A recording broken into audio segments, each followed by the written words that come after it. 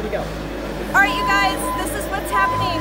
We are putting in a new driveway, uh, pavers courtesy of Thompson. Uh, we're tearing up everything right now, so this is what's happening. Uh, you guys have seen pictures of what's happening in the back, uh, but this is what's going to be the entrance. So stay tuned for more videos. Marie Hoffman, Hoffman Murphy Real Estate, Enviroscape. Wait a second. What are you doing? What, you said there's a backyard? Oh, come on down. Okay. Is in the process. Oh my gosh, look what's happening here.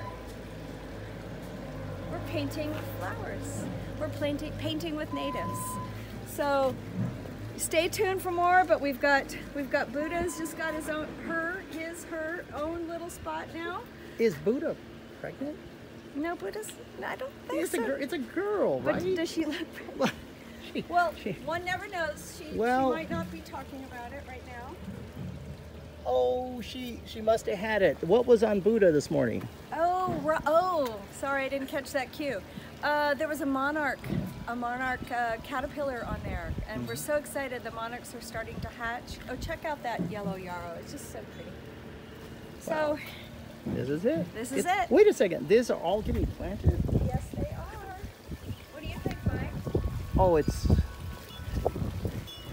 pure wonder. Natives. Natives. Yeah, Natives. Yeah. Stay Ex- tuned for more tips on planting your natives.